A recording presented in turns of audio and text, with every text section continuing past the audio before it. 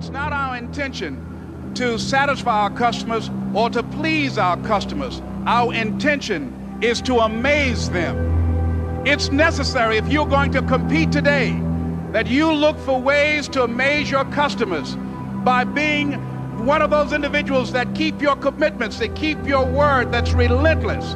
It's necessary as you work with the people that you bring into your organization that they see that you are a good example of a person to work with because you model integrity and determination and ambition and truth and honesty and the way in which you conduct business. The next step is that is you. That is you. That no one can do it for you but you. And even though you face disappointments, even though you will experience some setbacks, it goes with the territory. You must understand that. I remember I was playing a game with my nine-year-old son, John Leslie, and I beat him 10 straight games in a game called Connect Four. And finally, I said, John Leslie, I'm bored. I don't want to play you anymore. And I got up. I said, I'm ready to go to sleep now. And repeat out to me, please. Let's say to this together. It's not over until I win. John Leslie said, No, you can't go now, Dad. I said, Why? He said, It's not over until I win. That was his attitude. We sat down and we played several other games. And finally, after the 11th game, John Leslie won and he got up and he yawned and he said, I'm ready to go to sleep now. And I'm saying to you, what if all of us took that attitude after we face a rejection and a no, or we have a meeting and no one shows up, or somebody say, you can count on me, and they don't come through? What if we have that kind of attitude? The car's repossessed. Nobody believes in you. You've lost again and again and again. The lights are cut off, but you're still looking at your dream, reviewing it every day, and say to yourself, it's not over until I win.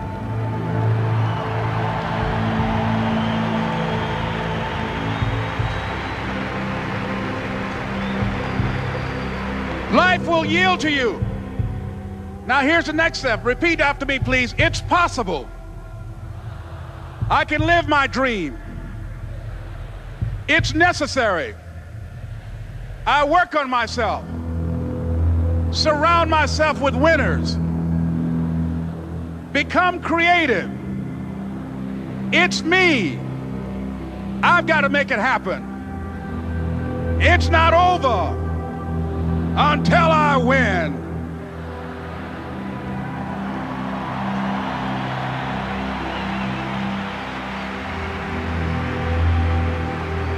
The next thing that's important to know yes, it's possible that you can choose your future and direct the course of your life as you run toward your dream. It's necessary that you have goals, that you write those goals down, that you plan, that you think constantly of how you can begin to improve what it is that you're doing. If it's your presentations, if it's your recruiting skills, whatever that is, it's also necessary that you look for ways to always find a way to pull it out when everybody else thinks that you're defeated.